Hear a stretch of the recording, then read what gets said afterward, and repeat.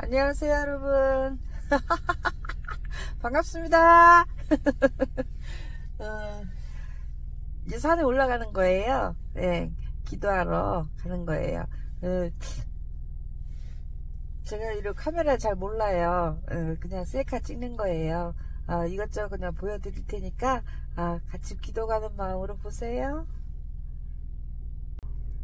오늘 재물 샀어요.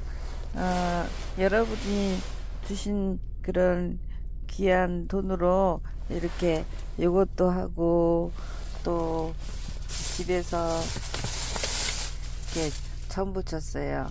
네. 어, 메밀전이고요.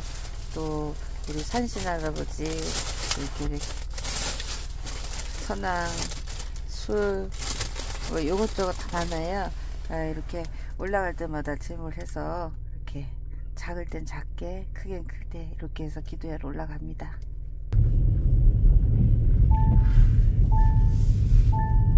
산에 도착했어요.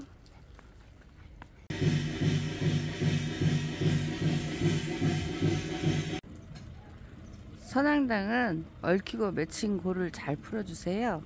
예, 답답한 거 다 소멸시켜 달라고 빌었습니다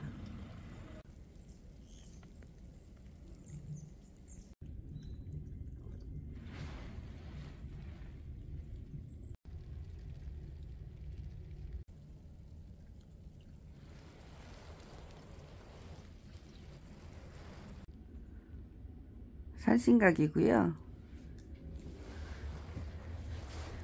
오늘 재물은 이렇게 준비했어요. 저는 신도들 빌 때 빵빵 터지라고 빵 많이 올려요. 네. 곶감하고 메밀전 준비했고요. 네. 산신 할아버지, 산신령님은 곶감 잘 받으세요. 네. 메밀전, 네. 메밀전은 터, 네. 사는 터, 네. 다들 편안하시라고. 네. 어, 이제 기도, 기도 좀 시작할 거예요.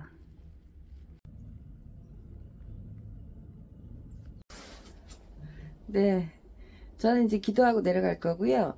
어, 제가 이제 우리 신도분들께 또 혹시 저에게 기도를 맡겼거나 어, 다른 어떤 의뢰를 해준 분들한테 어, 부탁드리는 말씀이 있어요.